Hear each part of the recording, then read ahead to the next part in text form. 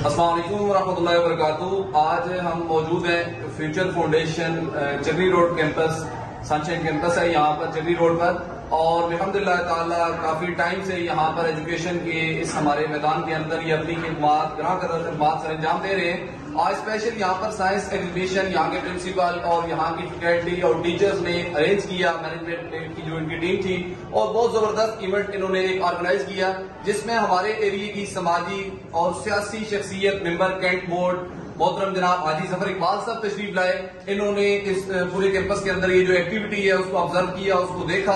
तो हम हाजी साहब से रिक्वेस्ट करेंगे कि हाजी साहब, आप इस फ्यूचर फाउंडेशन की प्रिंसिपल के लिए, इनके टीचर्स के लिए क्या कमेंट करेंगे? उनके स्टूडेंट ने जो टैलेंट अपना शो किया, जिसको आपने देखा, उस हवाले से आप क्या कहना चाहेंगे? सबसे पहले मैं फ्यूचर फाउंडेशन सनशाइन कैंपस की प्रिंसिपल उनके स्टाफ मोहसिन भाई साहब, आपका और उनके पूरे टीचर्स का जो जिन्होंने आज एक साइंस का मेला यहाँ पे सिखाया तो मेरे ख्याल में ये हमारे इस इलाके के अंदर ये इस किस्म का पहला वाक्य है। उस इस, इससे पहले कोई साइंस के बारे में मालूम देना बड़ा मुश्किल होता था।